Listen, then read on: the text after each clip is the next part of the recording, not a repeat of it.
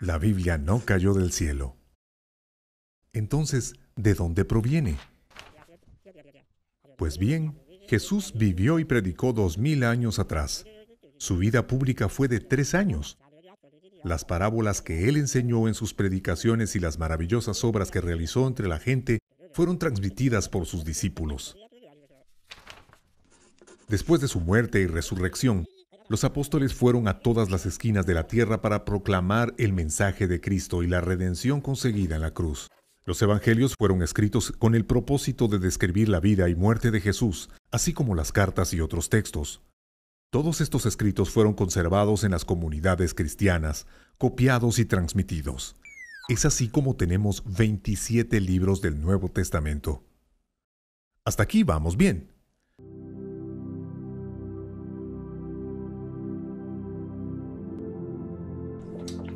¿Quién es el autor de la Sagrada Escritura?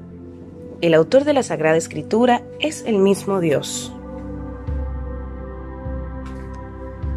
Dios es el autor de la Sagrada Escritura porque inspira a sus autores humanos, actúa en ellos y por ellos. Da así la seguridad de que sus escritos enseñan sin error la verdad salvífica. Catecismo de la Iglesia Católica, número 136. Segunda de Timoteo, capítulo 3, versículos del 16 al 17. Toda escritura está inspirada por Dios y es útil para enseñar, rebatir, corregir y guiar en el bien. Así el hombre de Dios se hace un experto y queda preparado para todo trabajo bueno.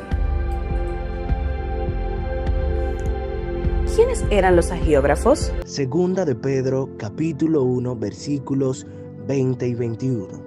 Sépanlo bien, ninguna profecía de las escrituras puede ser interpretada por cuenta propia, pues ninguna profecía ha venido por iniciativa humana, sino que los hombres de Dios han hablado movidos por el Espíritu Santo.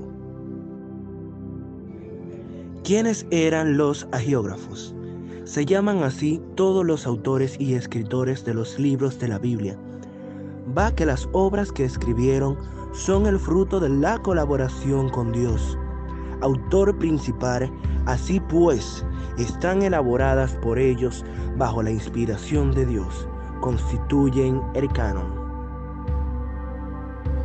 Dios ha inspirado a los autores humanos de los libros sagrados. En la composición de los libros sagrados, Dios se valió de hombres elegidos que usaban de todas sus facultades y talentos.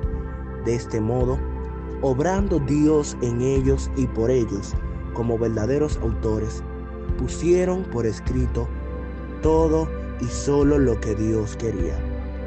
Catecismo de la Iglesia Católica, numerar 106. Todos nos preguntamos constantemente si la Biblia cuenta siempre toda la verdad. Esto no es fácil porque por un lado decimos, pues si la Biblia fue escrita por Dios y Dios no tiene error, no puede tener error la Biblia.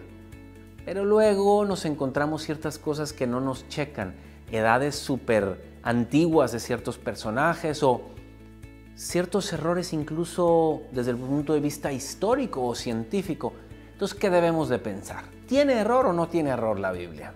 A mí me gusta dar esta respuesta con una historia. Imagínate un papá con cinco hijos desde la edad desde 16 años hasta uno de 4 años. Y tienen un libro de la familia. Y cada uno de los hijos, desde el de 16 años hasta el chiquito de 4, escribe una página de su vida. Pues cada uno va a dibujar de manera distinta. Y el niño chiquito, el de cuatro años a lo mejor, pues él va a dibujar a su papi, a su mami, sus hermanitos, y va a poner el sol y a poner la luna. Si yo después agarro ese libro de la familia, se lo llevo al vecino de enfrente y le digo, mira, este es el libro de la familia. Cuando él llega a la página del hermano chiquito, él no se le ocurre decir, esa hay error en esa página, porque tiene un sol y la luna, y el sol y la luna nunca están juntos. Hombre, lo que hay que entender es que cada uno escribe desde su entendimiento, desde la edad que tiene. Pues de manera similar, en la Biblia hay libros antiquísimos y cada autor tiene una intención de escribir según lo que alcanza a entender. Vamos concluyendo. Si yo no entiendo algo o me parece que hay un error en la Biblia, sucede una de dos cosas.